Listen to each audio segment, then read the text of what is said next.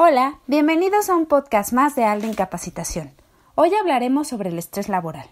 ¿Y qué es esto? Es un tipo de estrés donde la creciente presión en el entorno laboral puede provocar la saturación física o mental del trabajador. Y esto le puede traer diferentes consecuencias que pueden afectar su salud y su entorno.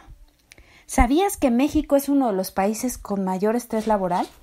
¿Y a qué se debe esto? No todas las personas tienen la misma tolerancia a la frustración ni tampoco manejan el estrés de la misma manera. Entonces las causas pueden ser diversas dependiendo de la persona.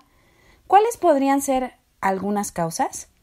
Cuando hay una excesiva carga de trabajo, un elevado nivel de responsabilidad, hay una mala planificación, las tareas son monótonas, estás en una empresa donde todo es urgente, los horarios son muy estrictos e inflexibles, y falta reconocimiento en los trabajadores. Hay una mala comunicación y falta de definición en las tareas. Y sobre todo, un desequilibrio entre la vida laboral y la vida personal.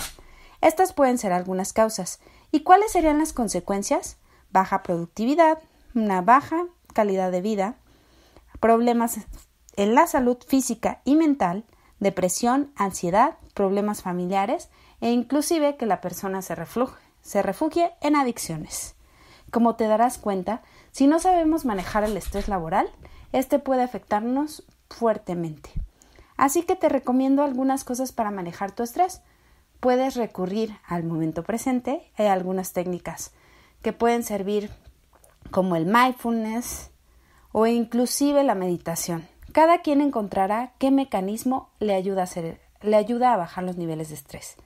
Pero lo más, lo más importante es que te detengas un momento y analices si realmente donde estás trabajando y lo que estás haciendo tiene significado para ti. Si realmente estás trabajando para vivir o vives para trabajar. Muchísimas gracias. Esto es Allen Capacitación. Escríbenos a rivera.com. Puedes consultar nuestras redes sociales en Facebook, Instagram, YouTube y puedes suscribirte. Y también puedes seguir el podcast por Spotify. Recuerda que la vida es una enorme oportunidad para aprender. Muchas gracias y mucho éxito.